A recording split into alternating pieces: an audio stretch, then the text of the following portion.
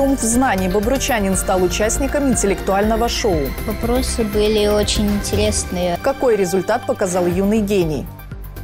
Поддельные купюры житель Белыничи сбывал фальшивки. Заменена часть слоя листа на странице с установочными данными. Что еще нашли правоохранители? Клич победы «Динамошенник» на финишной прямой. Хотелось бы в субботу-воскресенье видеть побольше болельщиков. С кем сразятся бобры? А также максимальные значения, самый молодой кандидат и новые правила. В республике вырос налог на сдачу квартир. Насколько вырос взнос?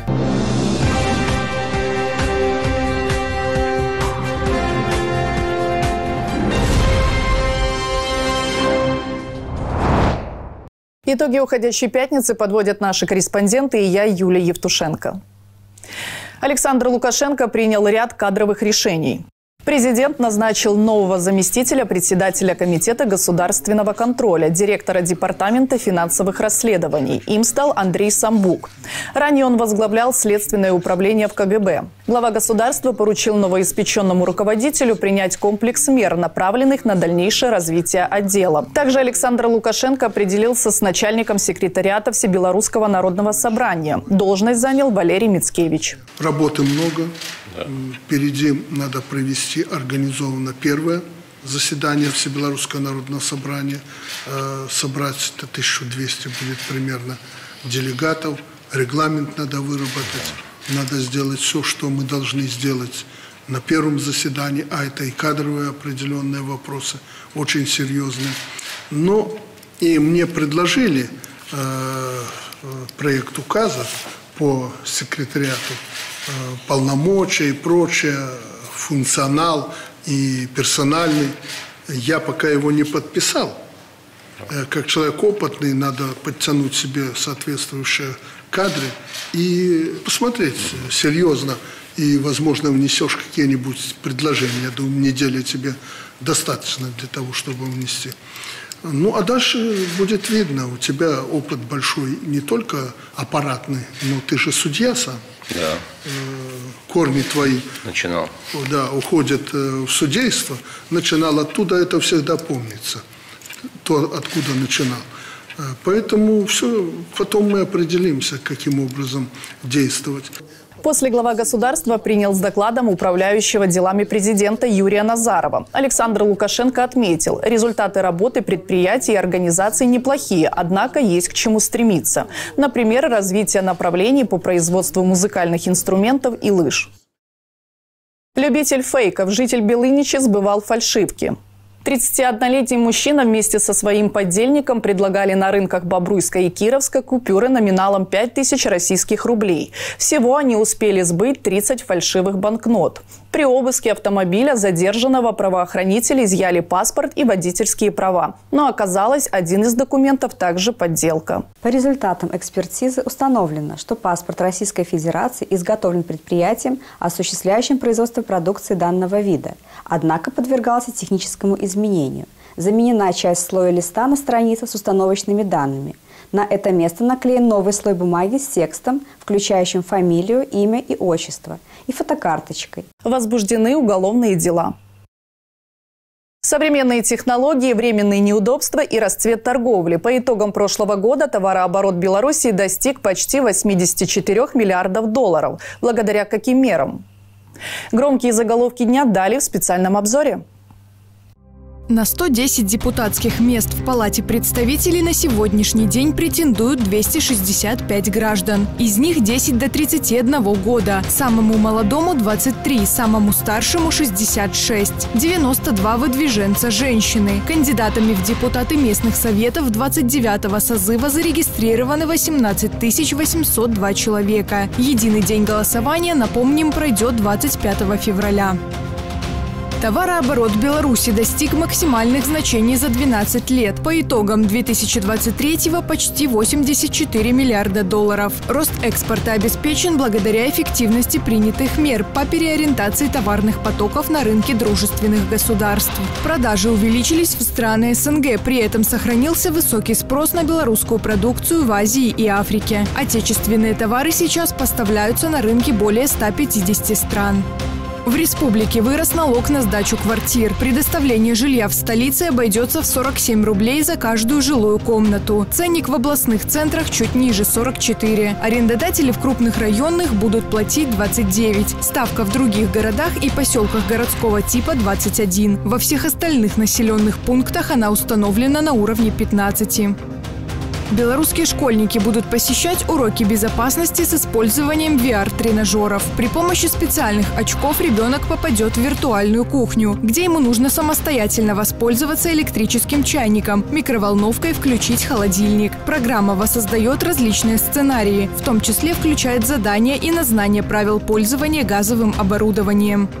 Кредитные карты могут не работать ночью 5 февраля в промежуток с 3 до 6. По информации банковского процессингового центра будут проводиться технологические работы на сетевом оборудовании. Перерывы в обслуживании возможны в пунктах выдачи наличных, устройствах самообслуживания, банкоматах, а также в сети организаций торговли. Опасности зимы. Могилевская область лидирует по числу госпитализированных из-за гололедных и холодовых травм. В регионе помощь медиков понадобилась более 300 человекам. Всего в стране зарегистрировано порядка 15 тысяч пострадавших от гололеда и холода. И хотя коммунальные службы в усиленном режиме борются с опасными участками, необходимо помнить о предельной осторожности. Самые коварные места – ступеньки подъезда, восстановки общественного транспорта и горки, в том числе детские. Типичными травмами, которые происходят с людьми, это переломы лучей в типичном месте, то есть предплечья, и травмы голеностопов. Зимой количество обращений к медикам увеличивается в среднем в 2-3 раза. Чтобы не стать жертвой гололеда, необходимо выбирать удобную обувь. От каблука лучше отказаться. Чтобы избежать падения, предпочтение надо отдавать сапогам на шипованной подошве из плотной резины.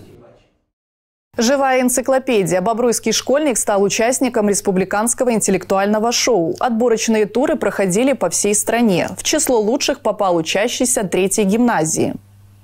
В интеллектуальный мир погрузилась Елизавета Липеева.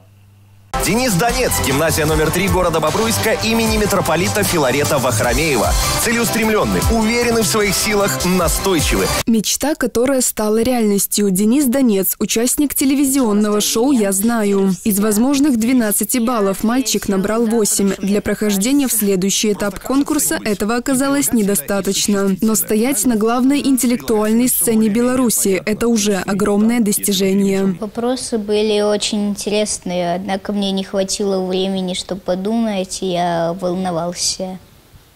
Я доволен своим результатом что я вообще приехал на шоу. Интеллектуальное шоу «Я знаю» – самое масштабное образовательное соревнование на белорусском ТВ. Стать частью проекта «Мечта» – шанс выпадает избранным. Одаренные школьники пятых-одиннадцатых классов борются за ценные призы и почетное звание победителя в своей возрастной категории. В мегаответственный момент участников поддерживают их проводники в мир знаний – педагоги. Переживала я сама на этой передаче, очень волновалась за Дениса, потому что э, на передачу он убегал своими словами «Я боюсь!» и скрылся в коридоре, улетев на сцену. Я волновалась, наверное, еще больше за него в комнате учителей. Денис Донец прокачивает эрудицию и расширяет кругозор в самом сердце Бобруйска. Третья гимназия издавна славится своими учениками. Здесь есть все для развития таланта. Профессиональные учителя отыщут искру креатива и направят на путь успеха. От желающих покорять вершины знаний здесь нет отбоя. Ребята поддерживают друг друга и мотивируют на новые свершения. Мы посмотрели шоу,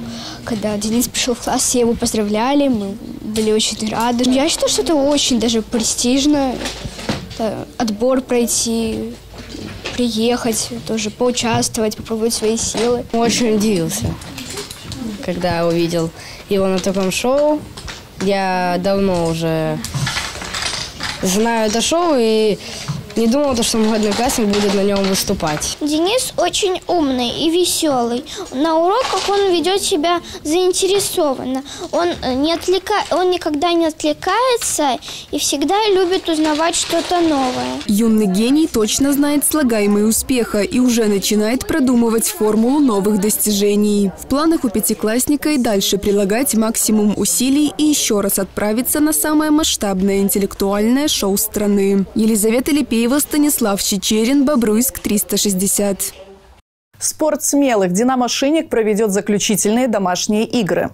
Бобры уже отыграли 48 матчей и одержали 25 побед. Сейчас наши занимают пятое место в серебряном дивизионе Западной конференции. Впереди важные состязания на льду. 3 и 4 февраля в 12 и 14.30 «Динамо Шинник» сойдется в холодном поединке с русским «Витязем». Спортсменам не хватает зрителей, побольше зрителей, и мы приглашаем у нас последние заключительные матчи этой серии, поэтому хотелось бы в субботу-воскресенье видеть побольше болельщиков. Билеты на матчи можно приобрести в кассе Бобруйск-арены. Болеем за наших! Это все из событий к этой минуте. Смотрите нас в интернете и соцсетях. Мы в эфире каждый будний вечер. Счастливо!